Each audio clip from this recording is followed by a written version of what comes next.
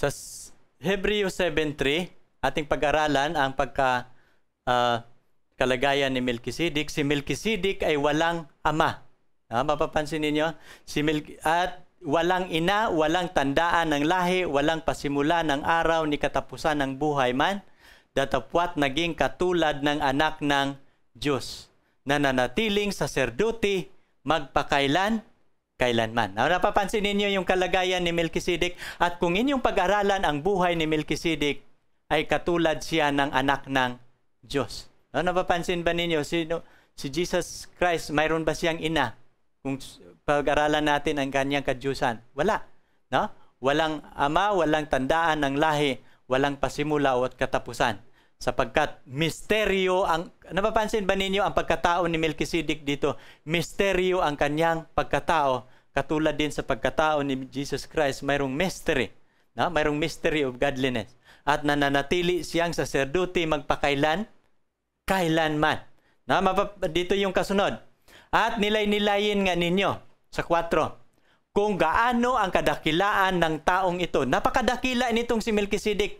Ito sabi ni Pablo, nilay-nilayin nga ninyo. Iisipin ninyo nang isipin kung gaano kadakila. Na binigyan siya ni Abraham na patriarka ng ikasampung bahagi. Na pinaka magaling na samsam. Na napapansin nga nyo, at ngayong gabi inyo ding nilay-nilayin. Kung si Jesus Christ ay pari ayon sa pagkapari ni Melchizedek, sa inyong pagnilay-nilay ngayon, nararapat ba nating isa sa uli ang ikasampung bahagi o hindi? Nararapat ba? Kung mayroong dalawang uri ng pagkapari dito sa lupa na itinayo ng Panginoon, na sa, sa Old Testament ang mga Levites nagkukulikta ng tithe, pero sa New Testament, pinalitan na ang kanilang pagkapari. Si Jesus Christ na ang pari natin ngayon sa tutuong tabernakulo sa langit. Kasi yung tabernakulo sa lupa, shadow lang yon, No? Pero napapansin din niyo ang ikalawang pagkapari no tumatanggap ba ng ikapo? Yes tumatanggap siya ng ikapo sa ngayon dito sa 4. Kaya sabi ni Abraham, nilay-nilayin nga ninyo kung gaano ang kadakilaan ng taong ito. At binahagian siya ni Abraham na patriarka ng ikasampung bahagi na pinaka magaling na samsam. Kaya nga, therefore, kailangan din nating mga Christian ngayon magsasauli din ng ikasampung bahagi. Huwag kayong maniniwala kung mayroong mga pastor, mga ngaral na nagsasabi na ano, dinadaya lang kayo niyan. At alam ninyo kung anong daya ang ginagawa nila. Ilalayo kayo sa inyong relasyon sa Diyos. Sapagkat lahat ng hindi nagsasauli ng ikapo ay hindi ninyo kinikilala ang kanyang kadakilaan bilang nagmamayari sa lahat ng mga bagay. At hindi lang yan, ninanakawan ninyo ang Diyos sa reserve portion na tinatawag niyang banal. At itong mga bagay na banal na kinukulikta ng Panginoon tatapos ito sa banal na gawain na kanyang pinagkatiwala sa mga ngaral sa buong sanlibutan. At alam ninyo, ito yung dahilan na kunti lang ang resulta ng pangangaral. Kasi marami sa atin sa sanlibutan ito nagiging magnanakaw sa harapan ng Panginoon. Ha? Kaya sana naintindihan natin. Sa 22, at gayon din naman si Jesus nagiging taga pananagot sa lalong mabuting tipan ang katotohanan sila'y marami bilang mga nagiging saserdote sapagkat dahil sa kamatayan napigil sila sa pagpatuloy. Di ba maraming mga saserdote kay Libby na descendant kasi lahat ng mga saserdote namamatay, pinapalitan, namamatay, pinapalitan.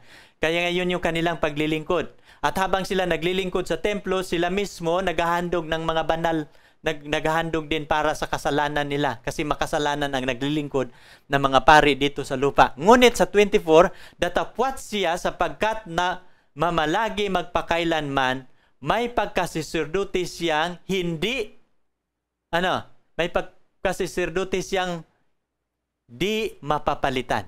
Mapapalitan ba ang pagkasaserdote ni Jesus Christ? No, hindi. Katulad sa pagkasaserdote ni Melchizedek. Ha? Wala hindi napapalitan. Now, dahil dito naman, siya ay nakapagliligtas na lubos sa mga nagsisilapit sa Diyos sa pamamagitan niya. Palibhasa ay laging nabubuhay siya upang mamamagitan sa kanila. At dahil sa paglilingkod ni Jesus Christ at bilang mataas na pari sa langit, makakalapit ang lahat ng mga tao na nananahan sa lupa. No sa pamamagitan niya. Kaya nga yung lahat na manalangin sa Diyos, dadaan muna kay Jesus Christ sapagkat si Jesus Christ ang pari na naglilingkod sa tabernakulo ng Diyos sa langit. No, nakukuha ninyo? At kung may pari kayong lalapitan dito sa lupa, piki na pari yan. No? Hindi yan totoong pari sapagkat ang totoong pari na ang, ang kanyang paglilingkod doon na sa santuario sa langit at ang pari natin doon ay si Jesus Christ. No? Sapagkat nararapat sa atin ang gayong dakilang saserduting banal. Gaano daw? Nararapat sa atin ang dakilang saserduting banal, walang sala, walang dungis, na nahihiwalay sa kasalanan. Tinat ginawang lalong mataas pa kay sa langit. No, nakukuha niyo yung sulat ni Apostol Pablo, ang saserdote na naglilingkod para sa mga makasalanan ay banal, walang dungis, no? walang kasalanan. At ginawa pa siya na lalong mataas, mataas pa sa mga langit sapagkat siya ay anak ng Diyos na naglilingkod para sa kaligtasan nating lahat. Sa 27, na hindi nangangailangan araw-araw ng paghahandog ng hain.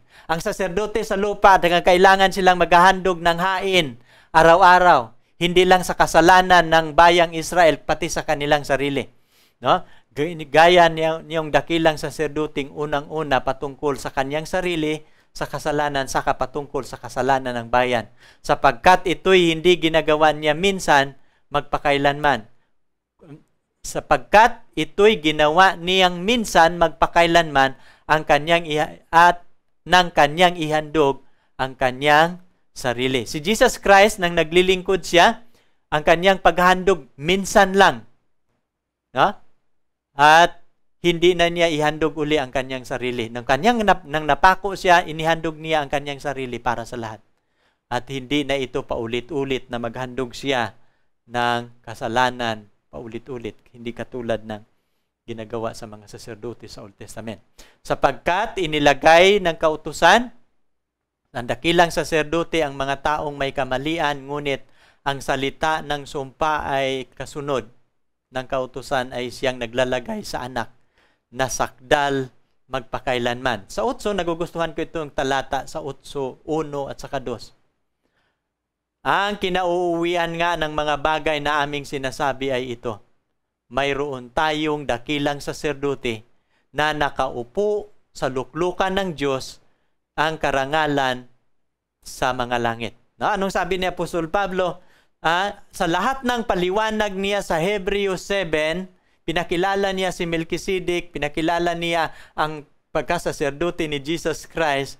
Pero sa verse chapter 8, sabi niya dito, ang kinauuwian nga ng mga bagay na ito, gustong ipapaliwanag ni Apostol Pablo, na aming sinasabi ay ito, mayroon tayong isang dakilang saserdote na nakaupo saan? Sa kanan ng luklukan ng karangalan ng langit. Saan nakaupo ang ating saserdote? Dito ba sa lupa o sa langit? Ang ating saserdote na naglilingkod sa lahat ng makasalanan ay nakaupo sa kanan ng Diyos. Ministro sa santuario at tunay na tabernakulo na itinayo ng Panginoon, hindi ng tao. So dalawang tabernakulo ang ating pinag-aralan, tabernakulo sa lupa, ang naglilingkod, mga tao, tumanggap ng ikapo. Pero mayroong isang lalong magaling na pagka, paglilingkod sa pagkapari, ang kanyang tabernakulo doon sa langit. Tumanggap ba ng ikapo? Yes. Sapagkat ang mga naglilingkod sa Panginoon, ang mga ngangaral din, kakain din sila sa mga ikasampung bahagi na matatanggap mula sa Christian Church. Na ngayon natin dito sa tres, sapagkat ang bawat dakilang saserdote ay inilagay upang maghandog ng mga kaloob at ng hain naman. Ganito kinakailangan din naman siya ay magkakaroon ng anumang ihahandog. No? Kung siya nga'y nasa lupa ay hindi siya saserdote ng anumang paraan. Palibhasa ay mayroong naghahandog na kaloob ayon sa kautusan. Na mapapansin ninyo, sapagkat ang bawat, si Jesus Christ, tanda natin ha, siya po'y dakilang saserdote. Yeah? Upang inilag, naghahandog ng kaloob, nahain naman. No? Napapansin niyo sa 5, na naglilingkod sa inyo at anino ng mga bagay sa kalangitan. No? Yung mga uh, pari na naglilingkod dito sa lupa, anino lang yun sa bagay sa kalingitan, gaya naman ni Moses, na pinagsasabihan ng Diyos na malapit na gawin niya ang tabernakulo. Sapagkat sinabi, ingatan mo na iyong gawin ang lahat ng mga bagay ayon sa ipinakita sa iyo sa bundok. Ngayon natin dapat datapwat ngayon, kinamtan niya ang ministeryong lalong marangal. Palibhasa siya ay tagapamagitan ng isang tipan lalong magaling at inilagda sa lalong mabuting pangako. So ang ang office na ginagampanan ni Jesus Christ lalong magaling kaysa dating pagkasaserdote. Sapagkat kung ang unang tipan, kung ang unang tipang yaon nagiging walang kabuluhan, ay hindi na sana inihanap ang pangangailangan ng ikalawa. No? Sapagkat kung ang unang tipan daw, ang unang kasunduang yaon, ay nag, naging walang kabuluhan, no? kakulangan, nagiging walang kakulangan, hindi na sana ibibigay ang ikalawang pagkasaserdote. Maraming kakulangan ang unang pagkasaserdote. Kaya nga bumangon ang ikalawang pagkasaserdote. Sa verse 8, sapagkat sa pagkakita ng kakulangan sa kanila, ay sinabi niya, narito, dumarating nga ang araw, sinasabi ng Panginoon, na ako'y gagawa ng isang bagong pakipagtipan sa sambahayan ni Israel at sa sambahayan ni Huda, mayroong pakipagtipan, ang ikalawang pagkapare. Sapagkat ito ang pakipagtipan na aking gagawin sa sambahayan ni Israel pagkatapos ng mga araw na yaon. Sinasabi ng Panginoon, ilalagay ko ang aking kautusan sa kanilang mga pag-iisip at ang kanilang mga puso ay aking isusulat o sa kanilang mga puso aking isusulat ang mga ito. At ako'y magiging Diyos nila at sila'y magiging bayan ko. So sa ikalawang pagkapari, ibang pakipagtipan ang ginagawa ng uh, saserdo, dakilang saserdote ng, ng Diyos. Ang unang pakipagtipan ang ang batas ng Diyos na kasulat sa tapyas ng bato. Pero mapapansin ba ninyo, nasa ikalawang pakipagtipan ang batas ng Diyos na kasulat sa puso. No? Napapansin ninyo? Kasi ang ang pagka tagapamagitan ng Panginoon ay lalong magaling kaysa dati. No? Ang unang pakipagtipan, literal na bato, pero dito, spiritual stone. At ito yung pakipagtipan. Mayroong mga, mayroong mga nag-aaral nito, sabi nila, ang sampung utos pinapalitan na. No, hindi. Ano bang batas na isinusulat ng Panginoon sa kanilang puso at isipan? The same commandment. Ang problema, ang pinapalitan lang yung sinusulatan. Ang Old Covenant, bato ang sinusulatan. Ang New Covenant, puso ang sinusulatan. Pero anong sinusulat? Ang kautusan pa rin ng Diyos. Kaya nga mayroong mga nagsasabi, paano natin tutuparin ang utos ng Diyos? Mahirap naman, walang makakatupad niyan. Alam ninyo, totoo yan. Hindi ninyo matutupad ang utos ng Diyos kung hindi pa ito masusulat sa inyong mga puso. At ito yung pakipagtipan ng ating ikalawang saserdote. No? Ito yung paglilingkod na kanyang gagawin para sa atin. At ang Diyos muling makipagtipan no? Sa paglilingkod ng ikadlawang saserdote sapagkat ito ang pakipagtipan na aking gagawin sa sambahayan ni Israel. Ano itong Israel? Spiritual Israel ito ang tinutukoy sa New Testament Israel. Pagkatapos ng mga araw na yaon, sinabi ng Panginoon, ilalagay ko ang aking kautusan sa kanilang pag-iisip. No? Saan na ilalagay? Sa pag-iisip.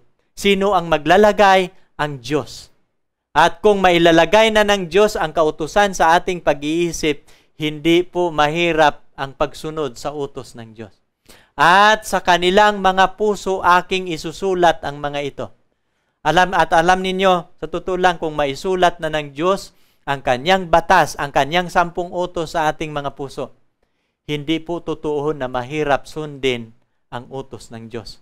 Ang kailangan lang natin ating isusuko ang ating sarili. No? Huwag na tayong magpapatunay na kaya natin ang lahat ng mga bagay. Ipagkatiwala na natin sa Diyos ang lahat ng mga bagay at atin mapagkatiwalaan natin siya at gagawa ang Panginoon ng isang kasunduan sa kalagitnaan mo. Isusulat niya ang kanyang kautusan sa iyong pag-iisip at sa iyong puso. At hindi na magtuturo ang bawat isa sa kanyang kababayan at kung mangyari na ito, hindi na ikaw kailangan tuturuan ng iyong kasama. At ang bawat isa sa kanilang sa kanyang kapatid, sasabihin, kilalanin mo ang Panginoon sapagkat ako'y makikilala ng lahat mula sa kaliliit-liitan hanggang sa kadakilaan sa kanila sapagkat ako'y magiging mahabagin sa kanilang kalikuan at ang kanilang kasalanan ay hindi ko na alalahanin pa. Ito'y napakagandang pakipagtipan. At doon sinasabi niya isang bagong tipan. Niluma niya ang una. Datapwat nagiging luma at matanda ay malapit nang lumipas. Now, ngayon natin, malapit na tayo magtatapos. No? Napapansin ba ninyo hindi lang si Abraham ang nagbigay ng ikapo? Kung si Libi, anak ang papa ni Libi si Jacob. Diba? Si Jacob, ang papa ni Libi kasi 12 tribes siya. At si Libi tumatanggap ng ikapo. Hindi ba ninyo alam na si Jacob, nagbigay din siya ng ikapo? Pero walang tala ng lahi kay sino ang binigyan ni Jacob. No? Pero kung sino ang binigyan ni Abraham, yan din ang binigyan ni Jacob. No, titingnan ninyo, no, kasi wala nang linyang pagkapari na nag-i-exist maliban kay Melchizedek.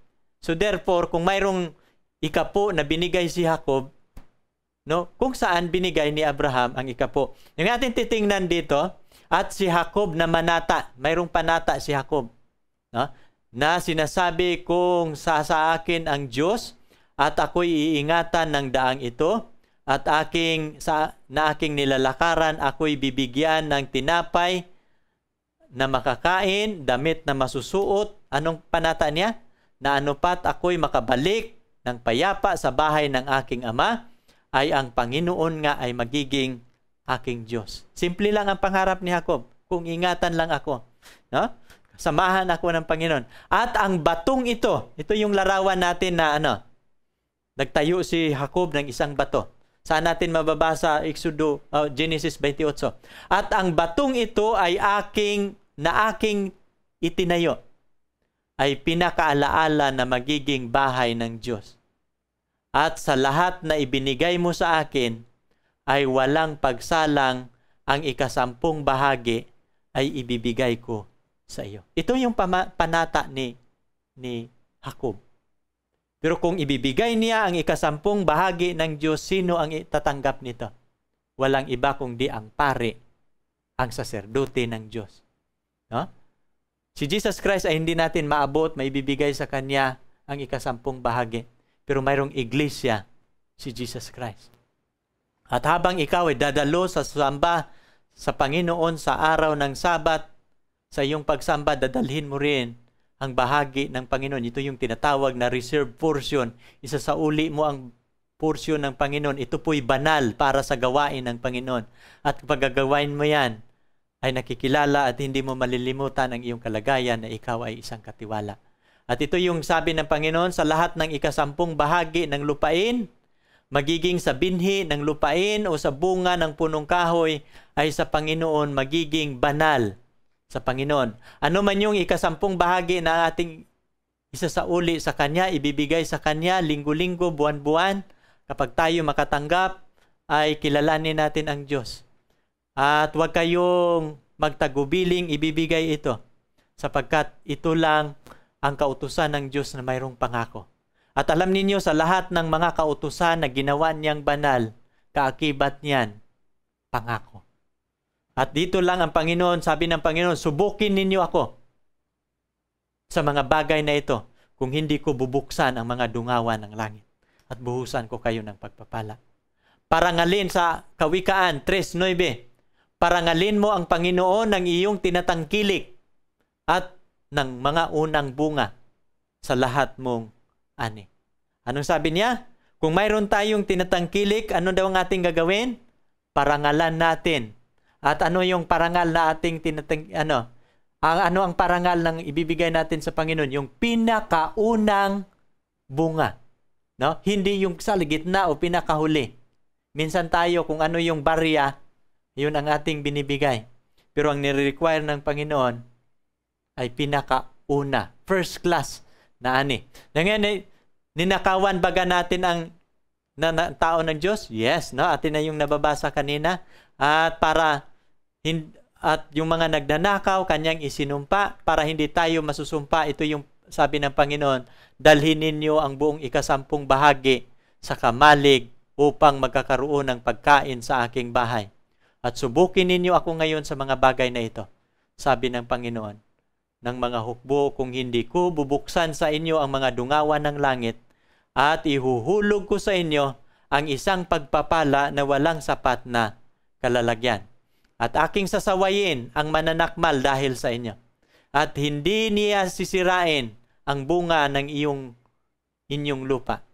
At palalagasan man ng bunga ng panahon ng inyong puno ang ubas sa parang. Sabi ng Panginoon ng mga hukbo, kung ikaw ay magsasaka, walang malalagas. Sinabi niya sa kanila, no? kaya nga ating alalahanin, ano na dapat? Bilang mga lingkod ng Panginoon, ibibigay natin kay Caesar ang kay Caesar at ang sa Diyos, sa Diyos. Ito yung ating responsibility. Sabi ng Panginoon, pero hindi lang yan, kailangan din natin, hindi lang tayo tapat sa ikapo, tapat tayo sa lahat ng mga bagay. No? Kaya nga ito yung ito yung mga bagay na dapat nating gawin. No? At dito panghuli, Makakalakad baga ang dalawa na, na magkakasama liban sila ay magkakasundo? Ngayong gabi, tinatapik ko itong ikasampung bahagi. Pero alam ninyo, anuman kaganda ang ating talakayan, anuman ito kahaba, magiging walang kabuluhan ito kapag ikaw ay hindi makipagtipan sa iyong Panginoon. Ang pagbibigay ng ikapo ay pinakamahirap itong gagawin bilang tao. Bakit? nabahiran na ang ating kalagayang banal. Ang mga bagay na hinihingi ng Diyos ay mahirap nating ibibigay. Sa totoo lang. Sapagkat ang ating likas ay likas na ng sakim. Likas ang ating likas ay likas na ng makasarili. At sa ating likas, madali sa atin ang hindi kilalanin ang Diyos. Madali sa ating pagigihin ang ating buhay kaysa gawain ng Panginoon. At alam ninyo, anuman ang ating tinatalakay ngayon, hindi mo ito magagawa kung hindi ka magpasya.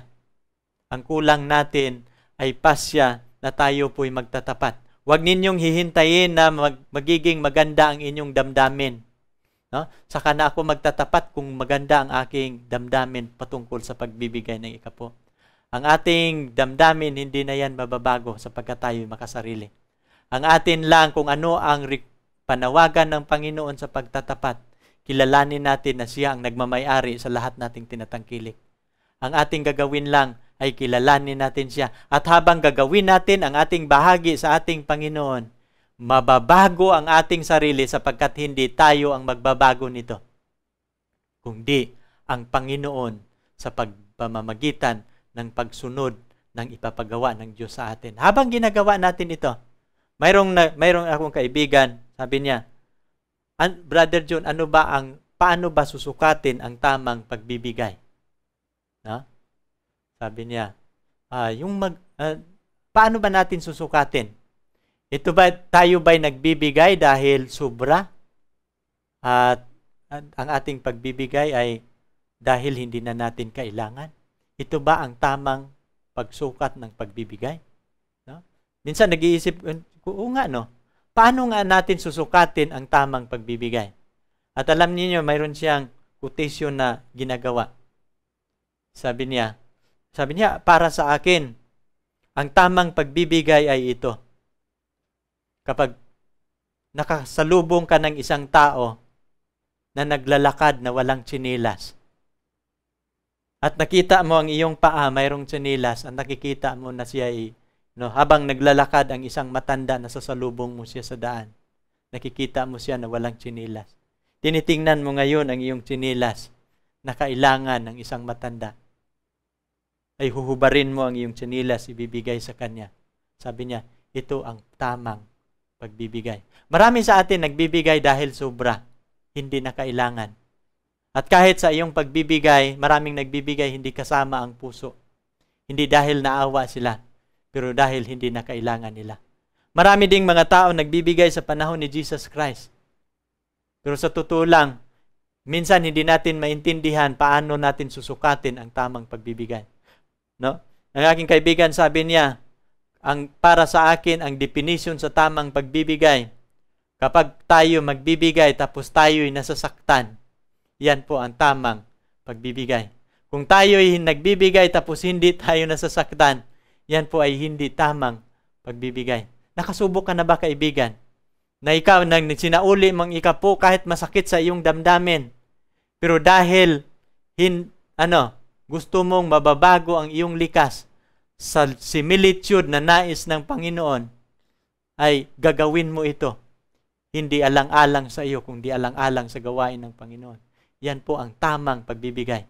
No? Mapapansin ninyo mga kapatid, na at ating pag-aaralan ang ang ano sa Biblia, ating titingnan, susukatin kasi hindi lang ating pag-aralan ngayon ang ikasampung bahagi, kundi ating ding pag-aralan ang handog. Kasi kung babasahin ninyo ang Malakyas 3, ikasampung bahagi at mga handog doon ang binabanggit. Ninakawan ninyo ako sa ikasampung, sabi ng Panginoon, dalhin ninyo ang ikasampung bahagi at mga handog. Kasama yan. Ngayon atin ding pag-aralan ngayon bago tayo magtatapos tungkol sa mga handog. No? Sabi niya dito sa Matthew 11.28, Magsiparito kayo sa akin, kayong mga nagpapagal. At mga bibigitang lubha at kayo'y aking papagpahingahin.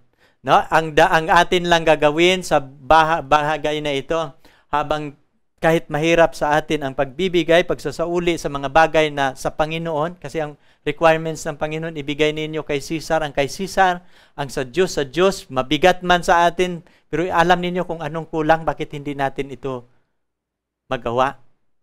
Ito ang kulang natin ngayong gabi. Sa mga lahat na nabibigatang lubha, sabi ng Panginoon, nahihirapan magbigay. Anong sabi ng Panginoon? Ito yung kanyang panawagan. No? Sabi ng sa 28, no, magsiparito kayo sa akin. Lalapit tayo sa Diyos. Kayong lahat na napapagal, nabibigatang lubha, kayo'y aking pagpapahingahin. No? It is, ito yung conclusion natin. Ang talata natin sa Acts 20 verse 35. Hindi ba narinig ninyo ang talatang ito? It is more blessed to give than to receive. No? At alam ninyo kung ang ating pagbibigay, hindi lang pagbibigay sa mga tao, kundi pagbibigay sa Panginoon. Ito, it's more blessed than to receive. No? Hindi lang ang Diyos ang hintayin natin na magbibigay. Tayo din magsasauli sa reserve portion ng Panginoon. At umupo siya. No, napapansin niyo itong kasaysayan na ito ay kasaysayan ito ng isang balo, babaeng walang asawa. At umupo ang Panginoon, umupo siya sa tapat ng kabangbayan. Minasdan niya kung paano inihulog ng karamihan ang salapi ng kabangbayan. At maraming maraming mayayaman at naghuhulog ng marami. Napapansin ninyo si Jesus Christ habang sila nandoon sa templo sa araw ng Sabat, ang mga tao ay nagbibigay na ng mga handog No, naghahandog nila at umupo siya doon sa tapat ng kabang yaman. Kung saan sila naghahandog, nasa tapat si Jesus Christ. Tinitingnan niya yung nagbibigay ng handog. At minasdan kung paano inihulog ng karamihan ang salapi. Tinitingnan ni Jesus Christ.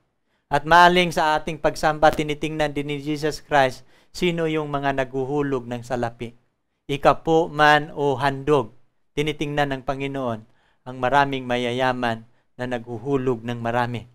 Pero mapapansin ninyo, pag-aralan natin, paano ba sinusukat ng Diyos ang tamang pagbibigay ng handog? Ating pag-aralan ito ngayong gabi. At lumalapit ang isang babaeng bao. No? Pagkatapos na nagbibigay ang maraming mga yaman ng mahandog, nakikita ni Jesus Christ, nakikita ng mga alagad ang babaeng bao. Sabi sa Biblia, lumapit ang isang babaeng bao. Siya ay naghulog ng dalawang lipta. Hindi ko alam kung anong halaga ang lipta ngayon. Ini-imagine ko ang halagang lipta ay limang piso o piso. No? O kung ano pa, pababain pa natin ang value ay 25 centavo. Dalawang lipta lang ang hawak ng babae. At ang halaga ay halos isang bilis. Bakit sinabi ng isang bilis? walang balyo ang binigay ng babaeng ito. No? At pinalapit niya sa kanya ang kanyang mga alagad. Sabi ni Jesus Christ, hali kayo. Lapit kayo dito. Sinabi niya sa kanila, katotohanan sinasabi ko sa inyo, ang dukhang baong ito ay naghulog ng higit kaysa lahat ng nanghuhulog sa kabangyaman. No?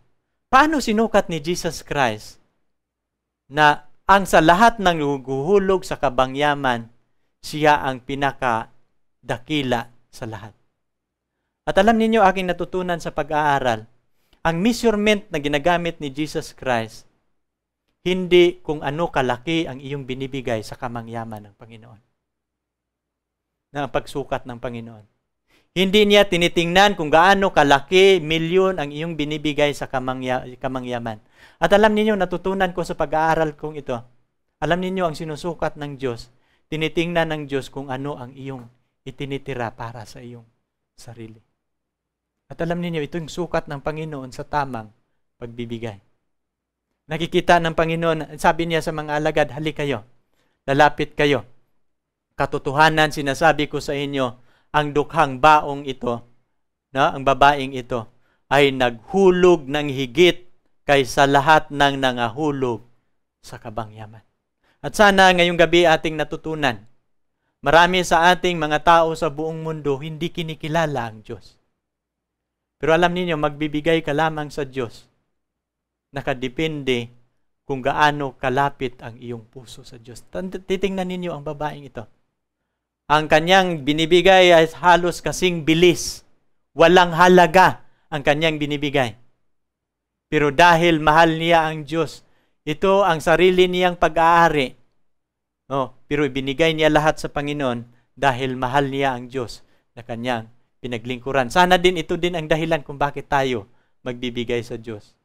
Dahil kinikilala natin siya na nagmamayari ng ating tinatangkilik. Marami tayo, minsan nagbibigay tayo dahil hindi natin kailangan, dahil sobra. Pero hindi tinitingnan ng Panginoon ang sobra na iyong ibibigay. Ang ibibigay ng Panginoon, ang gusto ng Panginoon, ibibigay mo ang Kanya mula sa iyong puso. At kung gagawin mo ito na mula sa iyong puso, mayroong isang relasyon. At makapaglalakad lang ang dalawa kung sila ay nagkakasundo. At ang una nating gagawin ngayong gabi, tayo po'y makipagtipan sa Panginoon. Sabihin natin sa Panginoon ang totoo, Panginoon, mahirap po sa akin ito.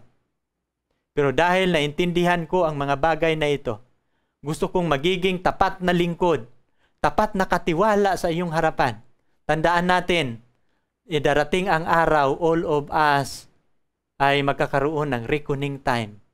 No? Haharap tayo sa kanyang harapan. Pero dalawa lang ang magiging kalagayan natin. Maaring tayo'y nagiging tapat o tayo'y isang hindi tapat. Yeah, panghuli, sabi nito, sapagkat silang lahat nagsisihulog ng kanilang labis, datapwat siya ng kanyang kasalatan ay naghulog ng buong nasa sa kanya. No, mayroon siyang buong nasa. Buong nasa kanya. Ah, sa makatwid bagay, ang buong kanyang ikabubuhay. Napapansin niyo? Walang itinitira. Ang tinitingnan ng Panginoon, ang paano niya sukatin ang ating pagbibigay, kung magkanong tinitira. No? Kaya, hindi ko sinasabing ibibigay ninyo lahat ninyong kayamanan. Ang gusto ng Panginoon, inilibibigay ninyo ang nilalaman ng inyong puso. Magbigay ang bawat isa ayon sa kanyang pasya, sa kanyang puso. Huwag mabigat sa loob dahil pinipilit sapagkat iniibig ng Diyos ang nagbibigay na masaya. Sana ngayong gabi ating natutunan ang isang napakahalagang paksa. At alam ninyo, hindi ko sana ito itatapik, pero dahil lang sa ating mga kaibigan na nag-request, ay hindi ko mahihindian. Sapagkat pananagutan ko kung hindi nila matutunan paano nila gagawin, desisyonan ang mga bagay na reserved portion ng Panginoon, mga bagay na banal. Maraming salamat mga kaibigan at sana sa gabing ito natutunan ninyo ito. At ang, ang inyong pagsasauli ng ikasampung bahagi ng Panginoon, automatic kayo. Kabilang na sa gawain ng Panginoon na kumakalat sa buong sanlibutan. At kung gagawin ninyo ito, maraming mga taong maliligtas sa harapan ng Panginoon sapagkat ang mga panalapi na malikom mula sa pagbabalik natin ng ating ikapo, kagamitin ito ng mga taong nangangaral sa mabuting balita na inaatang ng Panginoon sa kanilang mga kamay. Maraming salamat at tayo'y manalangin. Aming dakilang Diyos, kami po'y natutuwa, nagagalak, Ama, na sa gabing ito, sa kalagitnaang gabi, nagagawa namin ang aming bahagi na aming ibabalita ang inyong kadakilaan. Na sa sanlibutang ito, kaming lahat walang pagmamayari. Kaming lahat hindi tunay na nagmamayari, kundi kayo ang tunay nagmamayari sa lahat na bagay. At sa pamamagitan ng aming pagkikilala sa iyo, sa pamamagitan ng pagsasauli ng tinatawag ninyong reserve portion, mga bagay na banal na nauukol sa inyo, magiging mabuting katiwala kami sa inyong harapan. At sa pamamagitan ninyo makikilala namin na kami ay hindi tunay na nagmamayari. Sa gabing ito, Ama, nagpapasalamat kami na inyong niloob na ang karunungan sa mga bagay na ito inyong ibinabahagi sa amin.